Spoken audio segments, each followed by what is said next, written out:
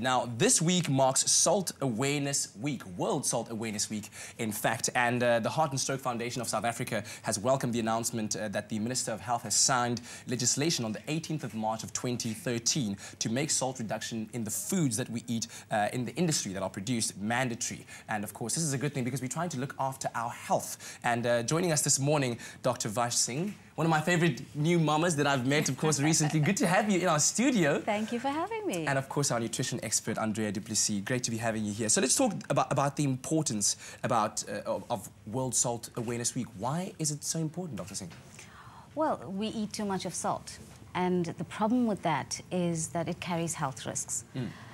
which are things like um, developing high blood pressure, um, there's also a risk of developing cancer. Stomach cancer is one of those. As a result of too much As salt? As a result of eating too much of salt. Kidney disease, we're seeing very young people ending up with um, end-stage kidney failure and things like osteoporosis as well. So the health risk that's associated with too much of salt is the, the issue that we're trying to deal with. Yeah. So, Andrea, when we talk about eating too much salt, I mean, we, we prepare a lot of food here and we, we give recipes and this and that. How do you find, how do you define eating too much salt? What's too much?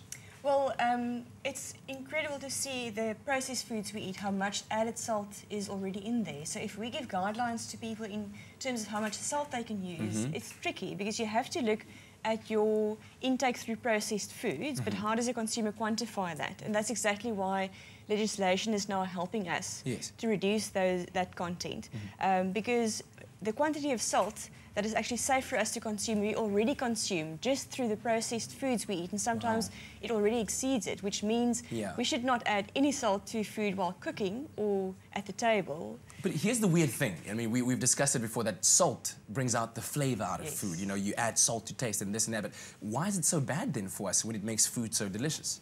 Well, the, um, as um, Dr. Vash indicated, the risk for high blood pressure, um, various other diseases, etc., um, our bodies aren't really designed to consume that much salt. Okay. And that's where we always try to educate people on how to make use of less salt in your food and adding actual flavour mm. with fresh herbs, cooking with lemon juice, adding spices, um, so actually adding flavour, garlic, ginger, all those lovely flavours where it reduces your need to add salt while you're cooking. Okay, and I, I, think like you said also in one of our recipes, I mean, the less and less of it you take, the, the more your body gets used to it, hey? Mm-hmm. It's the one taste that you can actually change your taste perception. The less salt you use, your taste perception changes, so yeah. the less you need.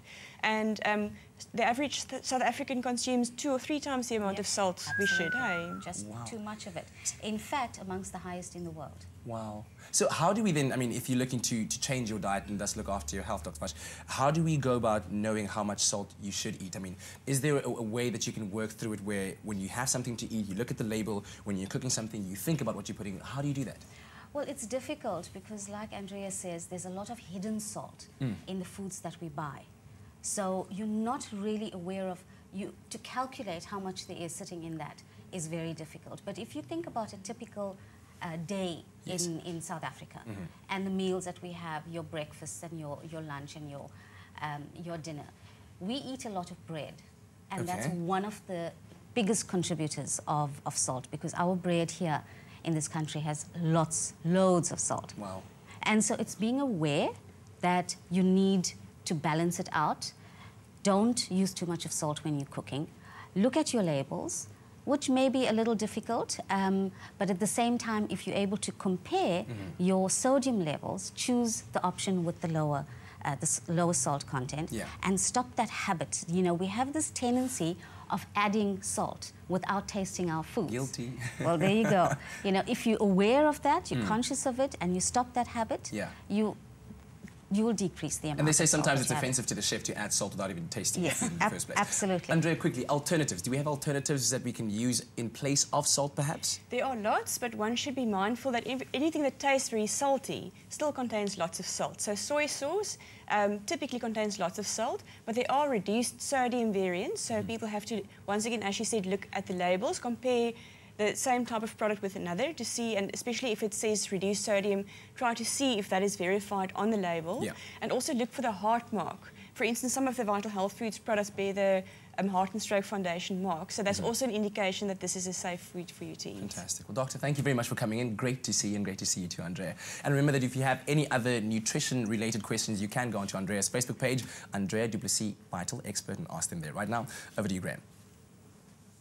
The Vital Foundation takes action against women and child abuse. One rand from every Vital pack will be donated to organizations fighting abuse. Make a difference.